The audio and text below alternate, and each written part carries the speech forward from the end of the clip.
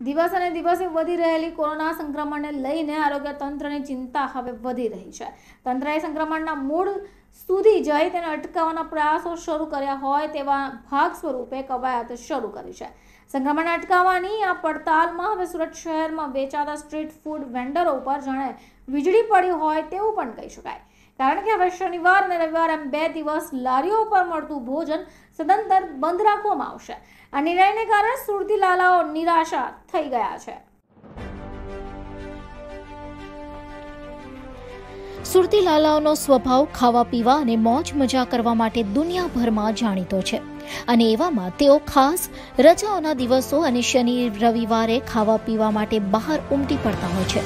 તો સુરત શહેર લારી કલ્ચર માટે પણ જાણીતું શહેર ગણાય છે. એવામાં મનપાના આરોગ્ય વિભાગે શુક્રવારે એક મોટી જાહેરાત કરી હતી. તે જાહેરાત શનિ અને રવિવાર એમ બે દિવસ માટે સ્ટ્રીટ ફૂડ બંધ રાખવાનો મોટો કહી શકાય તેવા નિર્ણયની જાહેરાત કરી હતી.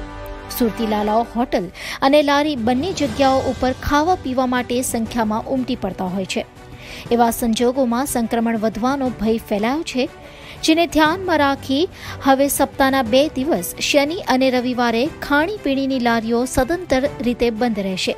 એવામાં મનપાયા કવાયતને પહોંચી વળવા માટે આરોગ્ય વિભાગના ઉચ્ચ અધિકારીઓનો કાફલો અને મનપા કમિશનર બંછાનિધિ પાની જાતે ગ્રાઉન્ડ લેવલ ઉપર ઉતરી આવ્યા હતા. અને સુરત શહેરના અલગ અલગ ઝોન વિસ્તારોની મુલાકાત લઈ સ્ટ્રીટ વેન્ડરોને સૂચન આપી હતી.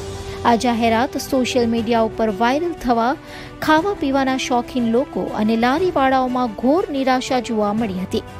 લારીવાળાઓનો મુખ્ય ધંધાકીય દિવસો શનિ અને રવિ એમ બે દિવસ પર ધંધાનો બધો મદાર રખાતો હોય છે.